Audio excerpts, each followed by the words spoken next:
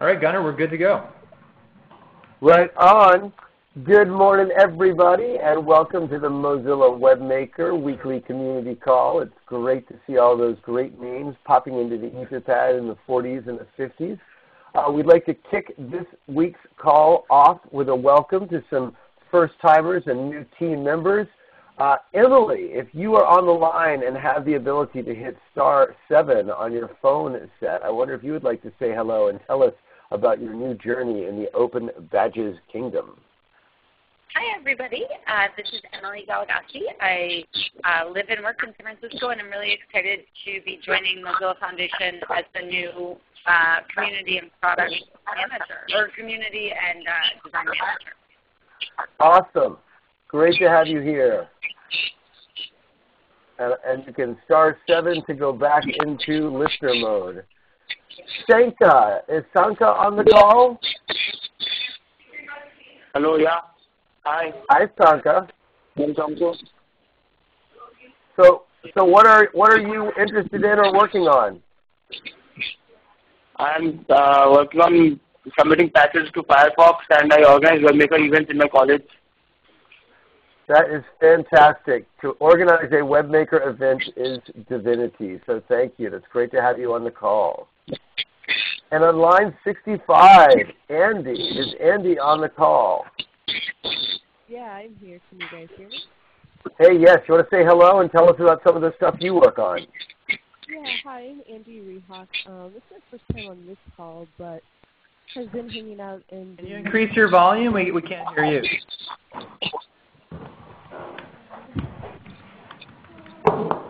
I'm not sure if I can make it any louder than that. okay, we're, we're getting you. Okay, um, I am working uh, with the DML badges competition. Um, and so I'm really familiar with open badges, and this past summer we did a hack jam at Indiana University. Um, and so I'm kind of tracking hack jam stuff as we hope to pull another one off in the coming months. Right on. That is fantastic, and it is excellent to have you here on the call. So thanks for joining. Hey, Gunnar, we're getting lots of weird alien feedback. I'm going to see if we can correct that. Yes, exactly. I was just going to suggest. The conference has been muted. Gunnar, you'll need to star 7. I'm back in play. Thank you. Nice. All right. Well, welcome to all of our new folks. Thank you, Emily and Sanka and Andy, for introducing yourself. Let me turn everyone's attention to line 83 in the Etherpad for your asynchronous click-through pleasure. Lots of good blog posts and other uh, updates that we encourage you to check out later on. But for now, let me turn everyone's attention to line 100 in the Etherpad, spreading the word about MozFest. Mark Surman, are you taking the lead on this item? I'm going to say a few things. Um, so, hi everybody. Um, and as we've discussed in a, a, bunch of places over the last week or so, MozFest is upon us. And that means getting people signed up and recruited is absolutely uh, job one for this week. And um, you know, I don't think we need to panic. We're actually well ahead of where we were last year. But at the same time, we have a much more ambitious plan, both in terms of the number of people we want there. We're, we're aiming in the kind of 700 range but also in terms of really getting the right people there for the sessions that we all want to work on. Uh, and so what Matt has done and Michelle and Gunnar have done is uh, prepare uh, materials that can help people promote what we're doing. Uh, and also Matt, and I think Rebecca will come on and ex explain this, Matt, Rebecca, Michelle, and everyone are working on getting as good copy as we can up on the site so that as we send people there, um, you know, it's going to be exciting. They're going to understand why they fit in and they're going to sign up. So a huge amount of effort has gone uh, on, on on those fronts. But the, the two things that will make a difference and have to happen this week and that almost everybody on this call should feel responsible for, um, and I, let's just say everybody so you know it's you, um, is A, reaching out to any individuals who you're hoping will be there for sessions you're involved in or projects that you're working on uh, or even just people you know who are interested. And if they're people who live a plane flight away from London as opposed to a subway ride away from Ravensbourne, you need to reach out to them really in the next day or two because we're getting to the point that it's expensive to book plane tickets, especially from outside of Europe. Uh, so I've been doing that. I've, I think we can put the Etherpad in, in this call Etherpad if we want, keeping track individually of who I've invited. Uh, I'm doing more of those today and tomorrow.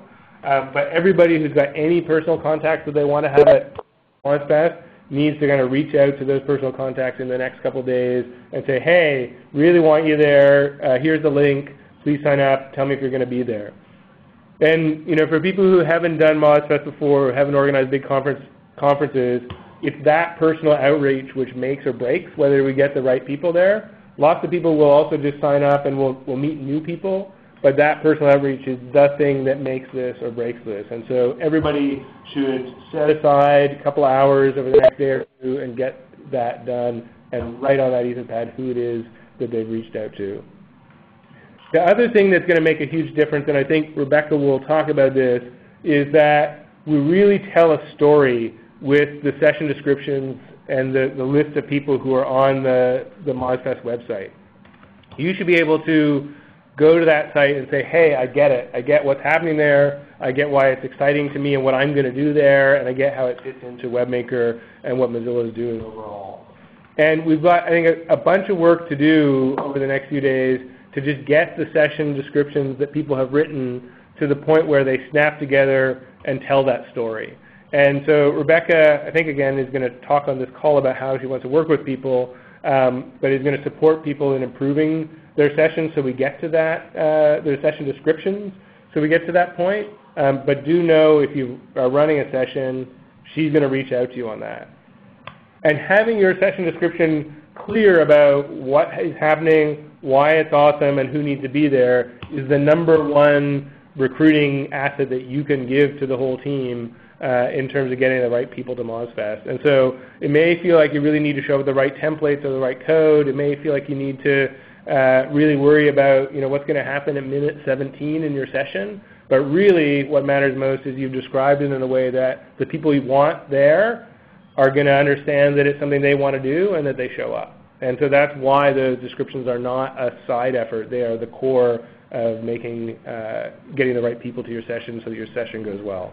So those are two things that anybody who's got any role in MozFest, which is almost everybody on the call, needs to focus on in the next couple days so we move the ball uh, ahead and get the right people there. I don't know, Matt or Michelle, if there's anything else you, you want me to say, or if anybody has any questions. I don't think so. I mean, in a minute we'll get into the stuff you just described around um, Rebecca's website work. I guess I just wanted to call out the uh, slash share page on um, it's linked on uh, line 105. So basically, we've gotten a lot of requests from people on this call and, and beyond for various assets. So this page is really our attempt to gather them all in one spot. So if you need copy to send an email to somebody along the lines that Mark just described, uh, there's links to copy here. If you need visual assets or logos or photos you can use with press, um, they're all here. So if there's something that you need to do that outreach work this week that isn't on the share page, um, please let us know in the pad or give, give me a shout now.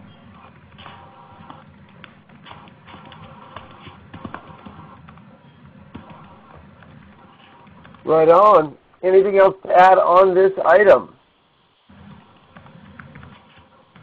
Excellent. Thank you, Mark, and everybody. And we do encourage There's- folks to do as a, much some, outreach. some questions in the pad, Gunnar. I guess I'd just say, like, in line 136, do we have a simple letter that we can cut and paste to an email to send out to possible invitees? Um, so the answer is yes, and that's what the share page is for.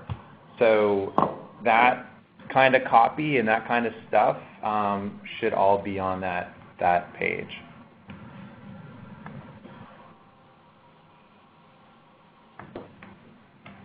And I just go a step further. If there's a thing you need that's not there, then ask us, and we'll. It may exist and not be there, or we'll make it.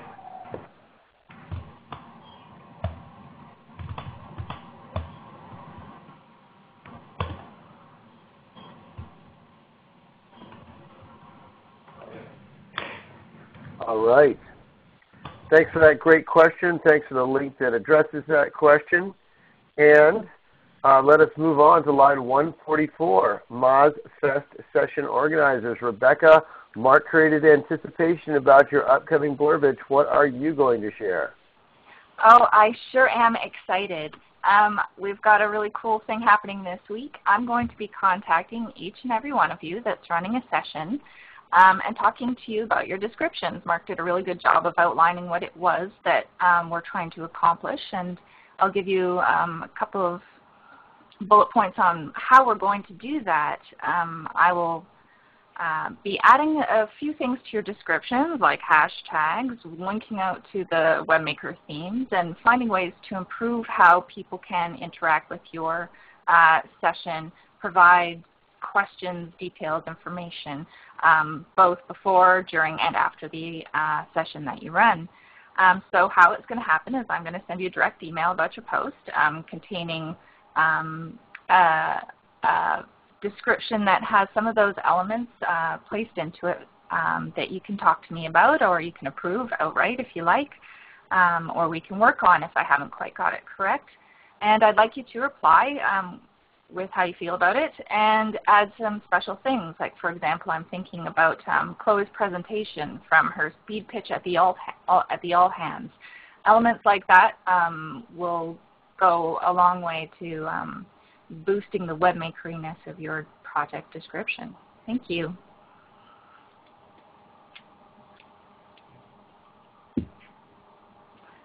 Do you guys Thank have you, any Rebecca. questions? I, I tried I tried to uh, to answer questions for you on line 164 um, to describe the process. So you will be hearing from me. I hope uh, you have time to reply pretty fast this week. Awesome. And you're getting a question in line uh, 168 about when is the Who's Coming session coming, and it's on Dev.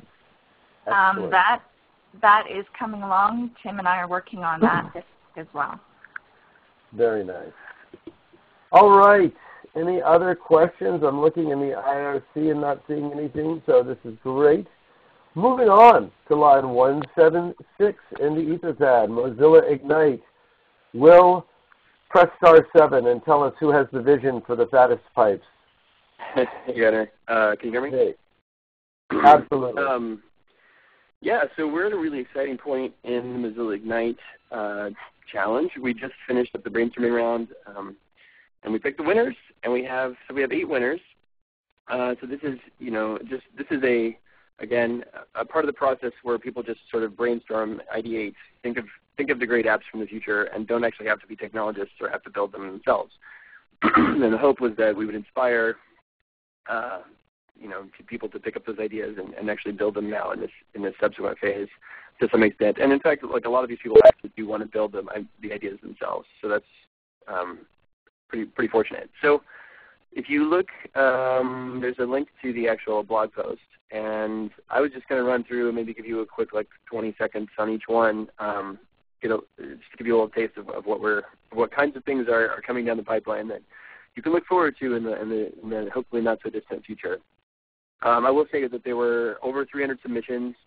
Um, there was $15,000 uh, in prizes for these, and um, but now that the focus now the focus is really on actually building um, in this development set of development rounds over the next six months.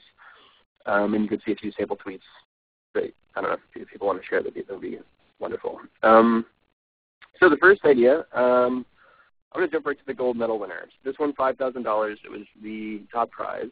And it's a, the title was a, a real-time emergency response observation and supervision uh, system, essentially. So it kind of gets the idea of, of how do you understand what's going on during an emergency. And it would be an app that would take live video, very high quality video from multiple feeds, as well as sensor data, you know, such as say in a fire, like heat uh, on building or smoke levels, and use that with massive sort of computing capacity to simulate and provide a, a, a truly uh, real-time decision-making support system uh, to help coordinate with first responders and ultimately uh, with actual people who are in an, an, emergency situation. So we thought, you know, we, we, thought it really encapsulated maybe the best of all of the various pieces of this of these high-tech networks, um, and was something we wish we wish the firefighters and rescue workers had today. so that was actually out of a Canadian uh, lab, the Shared Reality Lab in McGill, Jeremy Cooperstock, and he plans on building this. So that's a very cool um, app to have un- uncovered. Uh, the next one is the Silver Prize winner of uh, from Purdue University. Uh, it's called Remote control, Process Control using a, re- a reliable real-time protocol. And so this, the idea here is that you, you could, with sufficiently fast networks that are reliable and that the latency you know, or lag is predictable, you can actually control remotely processing processes, you know, like um, 3D printing, where you have to do something, sense something, change something, you know, process control. Uh, this would also apply to surgical stuff. You know, if you want to do remote surgery or uh, monitoring um, a oil refinery or you know any any of these various things. And this group actually is working um, with uh, a group, with some people in on the East Bay in, in California, in the San Francisco Bay Area, to try and actually build this out. And in fact, one of the, the partners is a company that's exported over $500 million in software to do process control type stuff, but it's all local. And this is so this could actually be something that again becomes real um, through this process. The next is um, another Canadian, Andor Salga, who uh, proposed an idea of real-time 3D interactive telepresence. So this is you know another step beyond just high-quality video conferencing, but would allow you to take uh, some kind of 3D sensors, in this case uh, the Kinect, because everyone is you know it's a cheap, amazing sensor to do two-way, truly real-time, like meaning very low latency um, video conferencing in 3D. So you could get a 3D view of a, patient, a physician could get a 3D view of a patient, or you could imagine doing um, science experiment and, and streaming that to another classroom, um, that, that kind of thing. Uh, the next um, is a health app called Long-Term Monitoring and Crisis Management System. So this is tackling, this is sort of the holy grail. Oh, I should have said Andor actually wants to build his app too. So the first three are all apps that are entering into the actual development challenge. um, so this third, this fourth one is a is now a health app, kind of targeting, I guess, the holy grail, where you know, we're, we're clearly moving into this ubiquitous, highly diverse, cheap sensor world, and you know that's going to change the way we our health and healthcare systems work. So this app basically pulls together some of that sensor data. Um, I think primarily initially focusing on some of the stuff you have in your smartphone, and um, and an EKG that they're going to get a prototype of uh, and you know pulling that together to do real-time analysis of the of, of the pattern as opposed to really the low, very low resolution analysis we have now, which is when you go to your doctor and maybe even hook you up to a heart monitor or they ask you about how you're feeling, how many times you fell in the last week. You know, it's it's not uh, it's it's bringing together a lot of new data, and I think will allow not just better prevention and stuff, but under, new new understanding of um, like various biomedical kind of conditions. Uh, next is high quality open source web conferencing. Uh, yet another Canadian team who um, is also interested in building it. I should say the last guys were also interested in building it. Two two folks from Boston. Um, so this app is basically to to address the issue of um, you know that everyone should have access to education no matter where they are, and it creates it's just it's essentially a, a high quality version of today's kind of of today's web, web conferencing software, but it's open source and it um, actually well it, it it should be something that people actually can use uh, in in classrooms and other uh, really any organization that needs web conferencing like us um, could use this kind of thing and, and the, the where they take advantage of the network is, where they take advantage of the network is at its higher quality. Uh, okay, Connect Health 3D. So this was a, a fairly innovative and cool idea, which is that if you could play games socially with others, like fitness games in particular, you can, you know, it's more enjoyable. You're more likely to do them, and so this would take uh, 3D information from Kinect and be able to stream that to, you know, five or six of your friends who want to play a game at the same time. And the where this gets cooler though is that you can actually, at least propose, you would use this for doing stuff like physical therapy, where you could remotely interact with physical therapists. Um, at some level, and, and they suggested this, it would be great to automate that to where the system in doing your game, like my, say my grandma's playing this game every week or, or a few times a week, detects that she's starting to limp or you know use her leg a little differently than she would otherwise, and says like maybe she's got some problem with her ankle that she's not even necessarily aware of. And those kinds of things you could then put a brace on or do something, uh, you know, get a cane and prevent like serious serious things that happen. Um, the next is smart streets for smart cars. And so this was just a general idea of um, you know, our, our, transportation infrastructure needs to get more intelligent, and we're embedding sensors in, in a lot of it now. And it would like it would be great to use these sort of smart uh, networks to um, to route, you know, route traffic, save energy when roads aren't when you're turning off lights and and things when roads aren't needed, um, helping avoid collisions or pedestrians getting hit. So um, they're interested in building it. I'm not. I think they're probably one of the um, farther away from building something in more of the idea phase than these others, but still still very cool. And finally, this a project called the Rashomon Project, after the, the um, Kurosawa film. So the idea here is kind of similar to the first one actually, in that you how do you how do you create a sort of multiple perspective um, awareness or capture of a, an event. And so this would take different video from you know phones and high quality cameras and things and weave them all together to create an understanding of complex events that happen. So you know a riot that's going on or um, a concert or a, you know a fire. Like there are plenty of there are lots of different uses for this kind of thing, um, and could kind of create some. I think it has the potential for some really interesting educational uh, stuff and very you know cool like sort of choose your own adventure, like understanding Tahrir Square. You know, like being able to, to, to move around different perspectives and really kind of getting a better, in some ways, providing a, a tool for empathy. I think is, is very cool. So, so those are the eight winners. Um, we are you know, cutting them checks, and we've been uh, touting them, and they're now really pushing and, and helping trying to incubate them and, uh, to get them into the challenge and actually build some of the things they're building. So those are some visions from the future. Does anybody have any questions? I kind of blasted through those. Well, that was a great list. I am not seeing any questions in the Etherpad, but if people do have questions, please put them uh, at line 194. Um, you might want to just briefly review the stuff that is there, Will, the judges and, and the, the deadlines for the development round. Yeah, yeah. So uh, the judges were, were people, so we have two sets of judges. We have extremely high profile judges um, that you can see if you go to, to um, the Mozilla Ignite judges, you know, people like Tim O'Reilly and Aneesh Chopra. Um, but those folks didn't judge the uh, idea phase. So through that, through um, a partnership with ZeroDivide, uh, this is California-based nonprofit trying you know, attempting to bridge the digital divide. We reached out to a bunch of communities in the various domain areas, so in education and uh, public safety and, and others, and got a bunch of people who were interested in being mentors.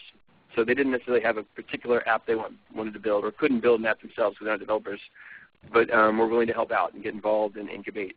Kind of. And so we had 38 uh, judges who read through you know, a set of the ideas.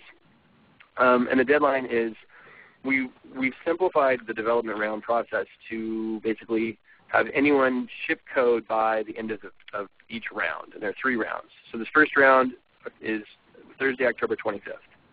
So, um, so the goal is for is for people to ship their ship code by then. It's a quick kind of code sprint. I mean, all of this is towards the prototype so we're towards something that people could actually use, but uh, or beta test kind of pilot in six month window. But so obviously we don't expect people to have fully fully functioning prototypes at this point, but we want to see progress towards that goal, and the teams will then demo for the sort of higher level judges I mentioned, or, or the sort of more famous judges, whatever the uh, they'll have they'll have a little demo session. So, uh, and how many developers have applied so far?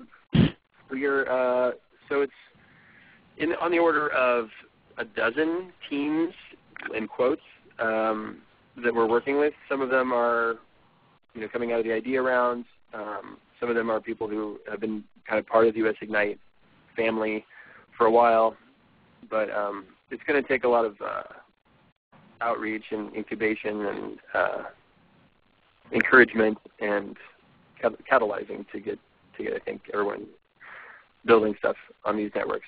So. Right on. Thank you, Will. and I just really want to do a shout out to Will and, and Ben Moskowitz. I, I had the pleasure of sitting with them in uh, Chattanooga a couple weeks ago at the Ignite Hackfest, and the amount of work that went into judging the ideation process, just watching you guys hunch over your keyboards and give each of those a good look. Uh, props to you all for all the hard work that got us to this list of winners. Uh, and props for making this such an exciting program because I think really this is this has been an amorphous undertaking that has really gained increasing focus as you've come on, Will, and as Ben has continued to bang the gong. So congrats on how far it's come and can't wait to see where this goes next. Thanks. Absolutely. All right. So, uh, well, we have a new agenda item at line 211, open art. And Angela, perhaps open Angela, might you want to hit star 7 and tell us about open art? Am I audible? You Am are. audible? You're a little. You are audible and a little far away from your mic, so you might want to see if you can get closer to your device. But come on down. Okay, now I'm very close, so it should be Oh, okay. like. Yes, okay. very good. okay. Um, yes, we just made this a verbal update. Um, OpenArt is a new project. Some of you may have seen it going by via Twitter and Facebook last week. And this is a collaboration that we're doing with Eyebeam in New York, an art and technology center there. And it's a project that's supported by the National Endowment for the Arts. um, basically, we have organized um, uh, an open call where people can apply to get one of three six-month fellowships um, at Eyebeam. And each of the selected projects uh, can be an artist or a team of people, so collaboratively between artists and technologists. Um, each team will be awarded $15,000 um, and a chance to work at Eyebeam for the six-month period. And this is really to create work that's at the intersection of art and the open web. So at the end of the six-month period, also actually during the six-month period, um, all teams will be sharing their process and work um, on the web. And at the end, uh, the projects will be presented at Eyebeam and obviously also on the web. So this is basically a call out for people to share the call for proposals. Um, Mass has already sent it out via Mozilla, Twitter, so feel free to retweet that. And Brett and Ben and I are the ones working on this project if you have any questions about it. That's it. Awesome. Thanks for that update. Any questions? So you might want to look at lines 214 and 215. Uh, one of the questions is uh, getting these folks involved in MozFest. Anybody we want to invite? Uh, yeah, we can check that out. We'll be talking uh, with Eyebeam folks this week as well, so um, I'll get back to you. We'll get back to you. Uh, deadline, yes, it is pretty fast. If we do not um, get enough submissions, we may extend, but for now we're pushing it on uh, for October 12th so that we can also avoid the holiday season in this whole process.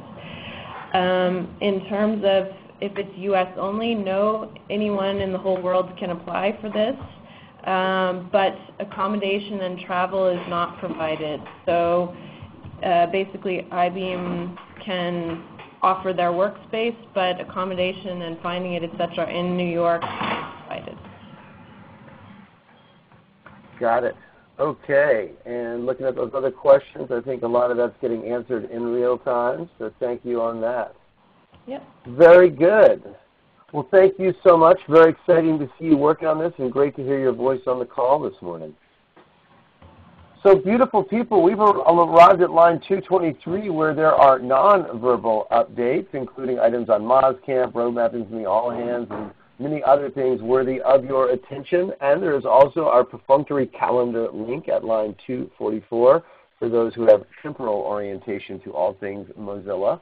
Uh, I am not seeing any other agenda items. Uh, Matt and others, the floor is open for any last minute agenda additions before we move to adjourn in a humanely early 32 minutes.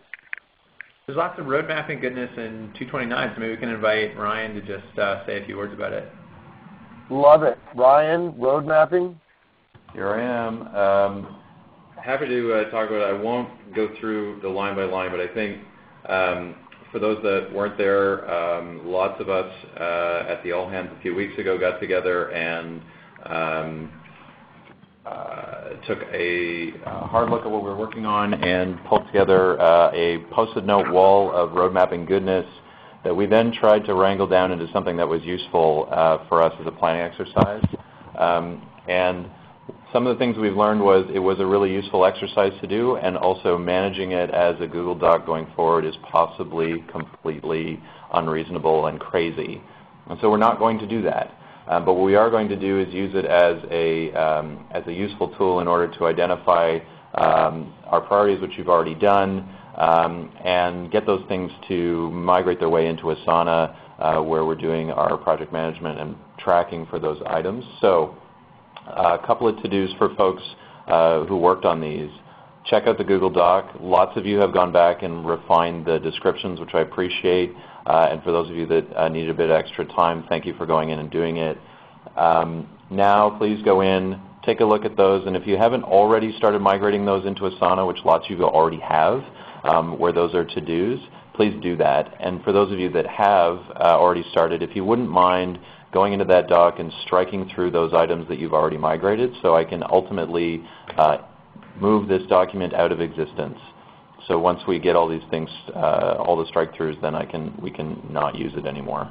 Um, secondly, the, the main purpose here was to identify areas for resourcing and conflicts. Um, and so if you see those, I've created an Etherpad where you can dump those questions, and my takeaway will be to ensure that those conversations happen and that those resources get allocated or reallocated as we need them. Um, so that's where we're at with that. So two to-dos, migrating to Asana, striking through when they're done. Two, identifying any conflicts or resource issues that haven't already been addressed, surfacing them in the Etherpad so we can have those conversations. Awesome. Thank you, Ryan. Any questions on any of that from anybody? Excellent. Any other agenda items? Wow. And Ryan, it's that's how rumors get started with this whole thing about Matt building saunas. He started it. Love it. All right. Beautiful people, unless there are objections, I am going to move to close this weekly phone call off. Thank you everyone who shared knowledge and otherwise helped create another very informative weekly call. We will look forward to seeing you same time next week. Have a great week, everybody. Thank you. Bye. I got it. Bye, everybody. Bye.